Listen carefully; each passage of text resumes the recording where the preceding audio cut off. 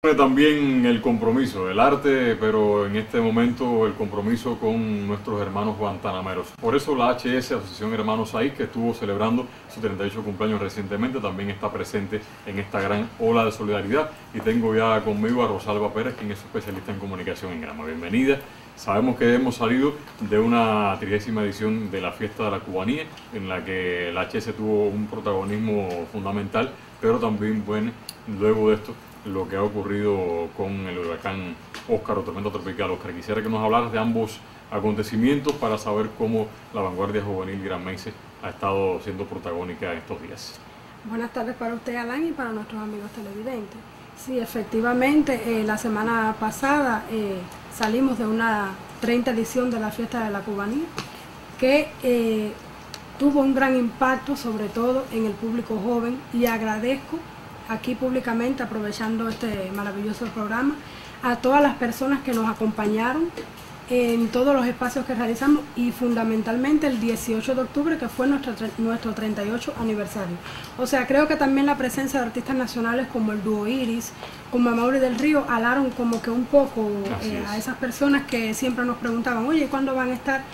Eh, el domingo fue una, la jornada más corta porque, bueno, por la situación energética, que fue una contingencia, tuvimos que prácticamente modificar las actividades que, teníamos eh, específicamente programadas en las comunidades, pero nos sumamos a las acciones que se realizaron en el Campus 2. O sea, nuestras brigadas llegaron y estos artistas nacionales también, como el dúo Iris, Amauri, estuvo Yanko, estuvo los muchachos de Yorubamán, se dirigieron al Campus 2 para allí llevar el arte a todas las personas evacuadas que se trajeron para ese lugar, que fue el centro que uno de los centros que se escogió aquí en la ciudad de Bayamo, y bueno, no quisimos pasar por alto.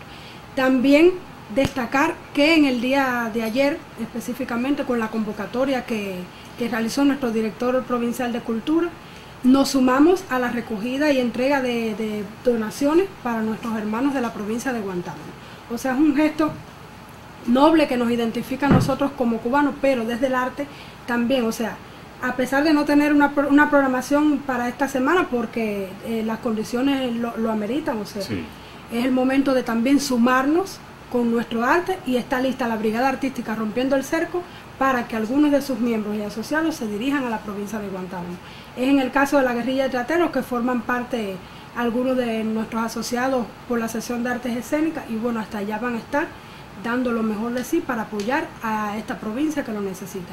Y desde la Dirección Nacional también hay que, hay que significarlo aquí, que también el llamado del presidente nacional Yacel Toledo a que eh, desde las distintas asociaciones del país se cree también esta valija, estas donaciones para, para hacerla llegar a la provincia de Guantánamo. Muchos artistas se han sumado. Sabemos que ha sido numerosa el volumen de donaciones, ha sido bastante llamativo, meritorio y hay que reconocer a todos los que lo han hecho de una manera u otra, porque con una sola prenda que usted tenga y pueda brindarla, se le agradece. Si tiene más, pues también. Exactamente. Y entonces ese llamado de Yacel también desde ayer en el pabellón Cuba iban a estar recibiendo todas estas donaciones para que igual usted en su casa no tiene que esperar a que, mira, ya la compañera de la federación convocaba por la... por por esa eh, organización, pero bueno, usted como persona, como ser humano, si está interesado, creo que es un momento único para nosotros como cubanos apoyar, porque estoy segura que si hubiera sido en Granma, muchas provincias también hubieran dado su paso al, frente. Y todas las personas que quieran ayudar, que quieran eh, aportar su granito de arena, pues bueno, no se queden en su casa, diríjase a los CDR, a las organizaciones políticas y allí le informarán de cómo puede ayudar.